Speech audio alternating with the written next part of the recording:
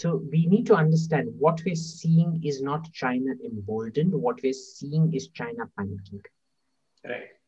Um, and if you remember, even over the last, I think it was in the Festival of Bharat about two years back, I said that India's great uh, misfortune is that our leadership right now are clueless.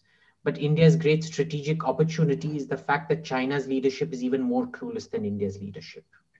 Uh, because Xi Jinping, being a very stupid man, is the greatest gift China has ever given us. I'll tell you why when people like Deng Xiaoping and uh, Hu, even up to Hu Jintao, but including Jiang Zemin especially, they were very careful that, you know, till China reaches paramountcy, they should never attempt to change the status quo. They should never challenge uh, global consensuses so openly. I think Xi Jinping has, uh, you know, counted his chickens before they hatched and he's made it a lot more aggressive. Now, understand why was this last year? China's aggression became particularly bad after COVID started up. And that is because of the kind of criticism that was being leveled at China. It was a panic reaction. And this shows you the danger of Xi Jinping that for something like this, he starts panicking and he acts super aggressively instead of backing down uh, it, it shows you the dangers of having a madman in power. Uh, internally, if you look at it, he has shut down all internal, and you know, there was dissent. I think Deng Xiaoping saw to it that there was some kind of internal dissent where you could dissent within uh, within the party. It, it shouldn't get out, but within the party, you could have different opinions and everything would be carefully measured and so on and so forth. Uh, Xi Jinping has destroyed that. You can't have a different opinion from him anymore. Um, so he engages in really stupid ventures like CPEC or OBOR, call it whatever you want, uh, which are, we all know they're financially unviable. They're, uh, uh, I've not, I'm yet to see a cost benefit analysis of this uh, joke that is OBOR. And he's basically going to be, Xi Jinping is going to be like Brezhnev. Brezhnev and Khrushchev set the uh, uh, the seed for the collapse of the Soviet Union. But the Soviet Union didn't collapse in their lifetime. It collapsed about 20, 30 years after they died. Uh, you're going to see the same thing with Xi Jinping. Uh, Xi Jinping is laying the seeds for, of the collapse of China, but it's not going to happen in his lifetime. It's going to happen after that. Uh, because he is making the same mistake of overextension of bad fiscal policy, unsustainable fiscal policy, spending money that they think they have, which can evaporate very, very quickly uh, on white elephants, essentially. So it, Xi Jinping is doing everything that the Communist Party of China told itself it would not do, which is do a USSR. I think um, even on the uh, commercial, I mean, business front, we've seen what um, what's happening to Jack Ma and his uh, company.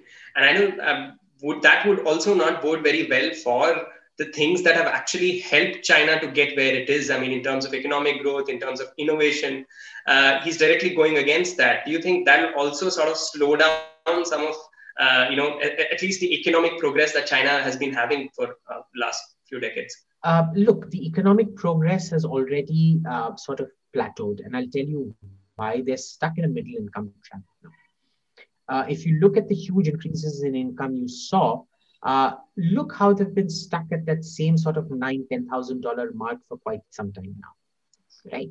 Why is that happening? Because when you transition from a manufacturing economy into the information age, a manufacturing economy requires a very strong state because industrialization is one of the most disruptive processes, uh, anthropologically speaking. It's one of the most disruptive processes.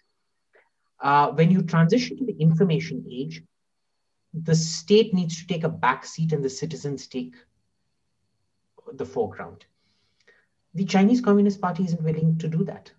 Remember, the reason that countries like South Korea, Taiwan, uh, uh, they democratized wasn't because of the goodness of the heart. It's not like the Kuomintang suddenly decided, oh, you know, I've seen the light of uh, uh, Buddha, Lokiteshvara, or Jesus, or whatever it is, and decided to democratize. No, it happened because that 80s to 90s was when you were transitioning from manufacturing into microchips and the digital uh, economy and the information economy. And so they decided to democratize because it was what the economy required. China has not done that. They're basically going the same way that North Korea is going at the moment. The thing about North Korea was people forget North Korea had the second highest per capita income in Asia after Japan till 1979. Till 1979, North Korea was the success, South Korea was the failure. Right.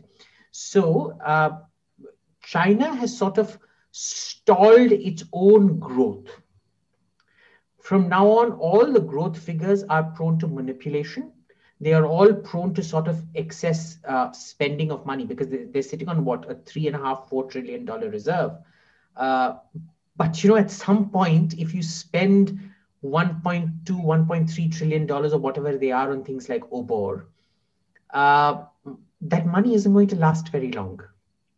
Uh, like they say, you know, the uh, the grandfather makes the money, the father spends the money, and the son loses the money. Uh, I think Jiang Zemin is the uh, uh, Xi Jinping, sorry, is the son that's going to lose the money, or at least the beginning of the loss of money. Um, it's it's not going to, but again, you need to have a lot of faith. This isn't going to happen in the next 10 12 years. This is going to happen in the next 30 40 years. So it's a long term thing that you need to look out for.